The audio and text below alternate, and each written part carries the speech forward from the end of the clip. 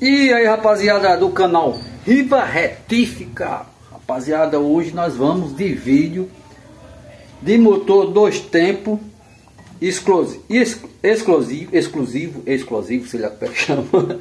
Então, um motorzinho exclusivo. Acredito que não existe outro igual. E se existe, então vamos ser o segundo ou terceiro, sei lá. Mas vamos lá, rapaziada. Vocês me aperrearam tanto que eu terminei endoidecendo de novo e vamos fazer uma loucura aqui. Olha só.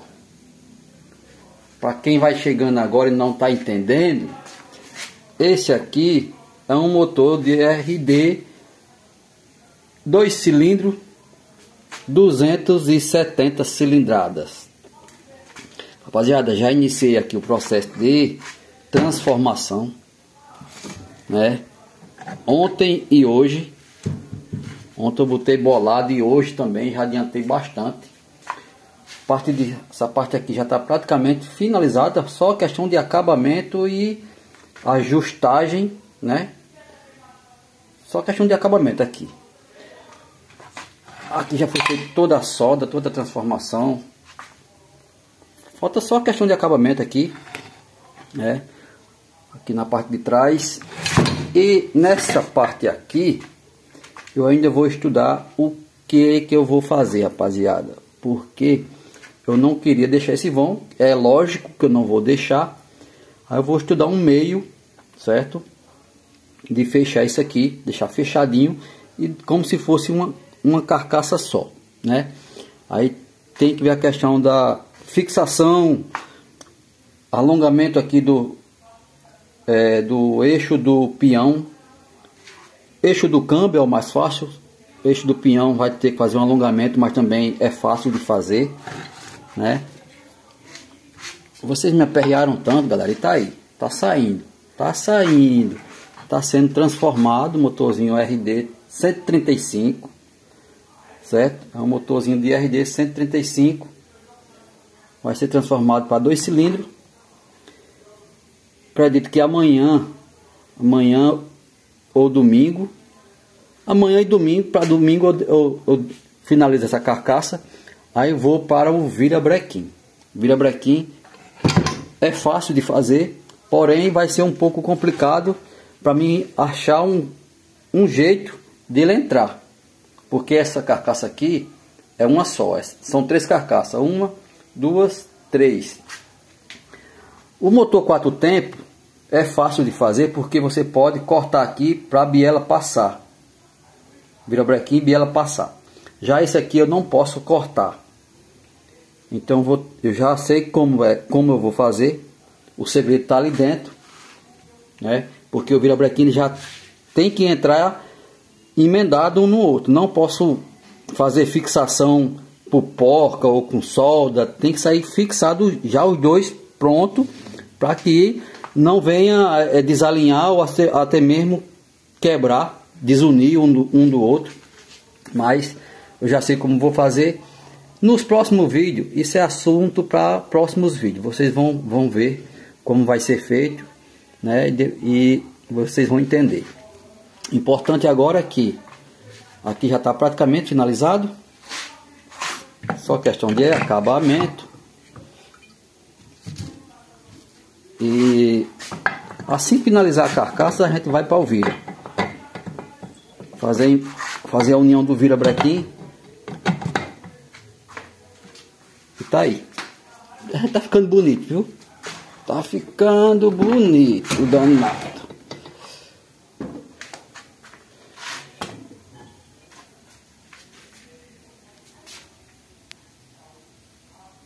Beleza, rapaziada? Então é isso. Vocês pediram tanto que a gente eu endoideci novamente, né? Aí, galera, assim que eu finalizar, assim que eu finalizar essa parte de baixo aqui e o vira, aqui praticamente não tem adaptação nenhuma, a não ser foi cortado aqui também vai ser cortado os dois cabeçotes. Aqui praticamente não tem adaptação. Aí, quando eu finalizar tudo isso aqui, aí a gente vai para o chassi para adaptar ele no chassi, para que ele não, para que ele fique centrado, o meio do chassi fique centrado no meio do motor, né? Tem que fazer essa adaptação. E outra coisa, galera, eu vou precisar de ajuda de vocês, né? Eu não sou de estar tá pedindo nada, mas eu vou precisar da ajuda de vocês. Algum fabricante de escapamento de motor dois tempos, para que a gente consiga desenvolver dois escapes, tudo para um lado só, certo? Tudo para um lado só. Eu não quero um, um de um lado e outro do outro. Eu quero tudo de um lado só. Por quê, galera? O que eu estava vendo aqui, estudando aqui na, em uma outra RD, esse escapamento aqui, que sai aqui do lado esquerdo, esse lado aqui, ele pode vir por baixo, que é aquele famoso escapamento por baixo do motor. Esse aqui pode vir por baixo e puxar lá para o lateral da roda. E esse aqui pode ser o estilo original. Esse aqui pode ser o estilo original, contando que os dois sejam com a mesma capacidade de vazão de escape. Então vou pedir ajuda de vocês aí, se alguém fabrica esses escapamentos, entre em contato com nós aí para a gente fazer uma parceria. Né? Não quero de graça, quero comprar, mas queria um, um preço legal, porque são dois escapes. E entrando em contato comigo, eu vou explicar como é o, o, o escape Vou colocar o motor no chassi e vou explicar bem direitinho como é o escape. Não tem segredo, não precisa levar a moto para aonde vai ser feito o escape, porque eu vou explicar direitinho e com certeza vão entender como vai ser feito. Agora, assim, como eu falei, os escapes ele tem que ser com a mesma vazão, porém um por baixo do motor e o outro pela lateral. Também vou precisar e duas duas palhetas Verfosse. Não quero usar os originais. Vou ver aí como é que eu vou fazer a admissão. Vamos estudar, vamos estudar como vou fazer a admissão. Vai ser com dois carburador mesmo, né? Aqui provavelmente eu vou ter que fazer encamisamento desse cilindro aqui, que esse aqui esse cilindro é fraco, esse aqui é bom, esse é fraco. Vou fazer encamisamento. Vou esperar chegar aí da especial só sucata, meu amigo Vitor, um abraço. Vitor e Rivaldo, esperar da especial só sucata. Vai vir para mim dois motores de RX 125, que é para mim aproveitar o virabrequim deles. E provavelmente a embreagem também eu aproveito. Para a gente estar tá montando esse motor o mais rápido possível. Claro que tudo no seu tempo, que muitos acham que esse motor é fácil de fazer, mas não é fácil, galera. Muitos comentaram que é mais fácil do que o quatro tempos, mas não é. Ele se torna mais rápido de fazer, porque eu não vou fazer união de cilindro nem e não vou fazer união de cabeçote. Não, vou, não precisa. Porém, o câmbio as carcaças do câmbio é mais complicada do que a de quatro tempos, bem mais complicada. Por que, galera? É mais complicada. Vou explicar para vocês.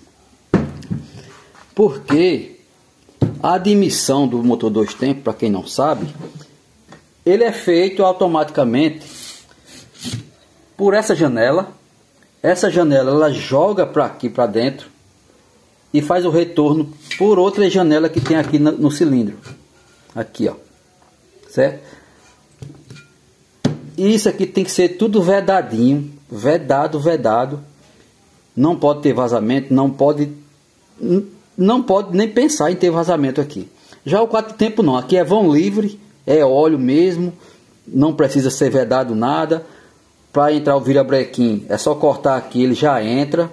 Esse aqui eu não posso cortar, porque aqui é a vedação do cilindro e também da janela de transferência. Eu não posso fazer isso. Eu posso até bolar um jeito de cortar, montar e dar um jeito de parafusar. Isso aqui é uma hipótese também que eu estava pensando. Em cortar aqui, certo? Cortar, arrancar aqui, fazer todas as medidas direitinho, colocar o virabrequim colocar a peça de volta e colocar dois parafusos prendendo, certo? Isso aqui é uma possibilidade. Caso o que eu estou pensando fazer não der certo, isso aqui é, a, é a, uma segunda chance, uma segunda, uma segunda é, hipótese que eu posso fazer assim. Mas porém agora eu não, eu não, vou, não vou fazer, vou fazer do jeito que eu estou pensando mesmo. Depois eu vou explicar para vocês tudo direitinho. E é isso, galera. Vamos finalizar por aqui. Abraço meu amigo Vitor, especial só sucata, Rivaldo. E tam, galera, não esquece. Dá uma, dá uma, um, uma fortalecida aí. Galera dos escapes que fabrica aí para motor dois tempos quiser entrar nesse projeto junto comigo, entre em contato comigo aí para a gente ver como a gente vai estar tá fazendo esses escape.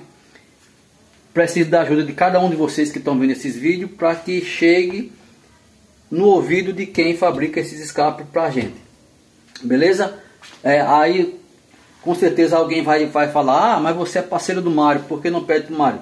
Mário não fabrica, ele não fabrica escapamento para motor dois tempos. Ele pode até abrir uma exceção e fabricar esse para mim. Mas vamos ver daqui para frente o que é que vai rolar. Tem muita coisa para rolar aí e com certeza vai aparecer alguém que queira participar dessa desse projetão aí dois tempos. O intuito, o meu pensamento era ser um três cilindros. Mas o que me fez desistir foi a questão da forma que o virabrequim vai entrar. Porque para quem não sabe, o motor da RD350 ele não abre da, dessa forma. Ele é, ele é aberto aqui, ó, no meio. Ele é aberto aqui no meio. E para mim fazer ele aberto assim é muito complicado. Ia gerar uma mão de obra enorme e eu não quis arriscar. Mas o intuito era fazer um três cilindros. Mas o 2 já está de bom tamanho. Quem sabe os um próximo vai ser um 3, né? Tudo é aprendizado, tudo é aprendizado, galera. Eu estou fazendo isso aqui, mas já estou aprendendo muita coisa quando eu for fazer um outro. Quando a gente for fazer um outro, um outro motor, eu já vou fazer de uma forma diferente e melhor do que esse. Beleza? Então é isso. Cansado pra caralho. Foi o dia, foi o dia todo hoje. Valeu, rapaziada. Tamo junto. Não esquece, comenta aí. A rapaziada que fabrica escape, entre em contato. Tamo junto sempre. Um abraço, cheiro no olho, fica com Deus. E até o próximo vídeo, se Deus quiser. Amanhã tem vídeo. Tamo junto, rapaziada. Tchau, cheiro no olho.